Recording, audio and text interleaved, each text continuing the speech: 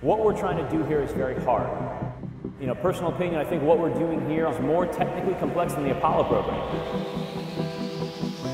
And, and frankly, America's right to expect a lot of us.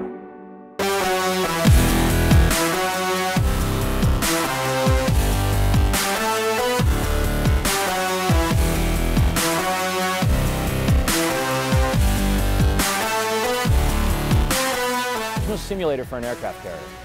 And so it's really important that we get out here.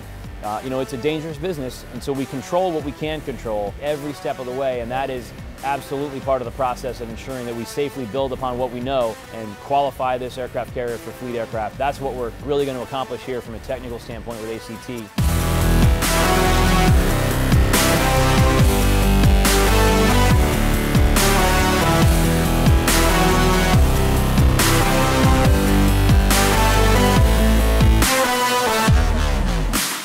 There are so many firsts happening, and many that we frankly don't even really realize. But we've had the first ever uh, EA-18 Growler, uh, like you mentioned, the first ever E-2D Tracer. There are pilots on board this ship right now who forever will be able to say their contribution to the Navy was to be the first pilot or the first NFO to come aboard the Gerald R. Ford class in that type aircraft.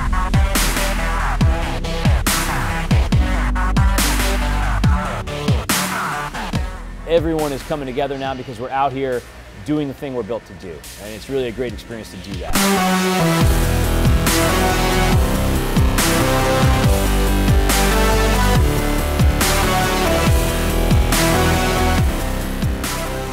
I'm Commander Mehdi Akasem, call sign Metro, Air Boss on board USS Gerald R. Ford, and we are Warship 78.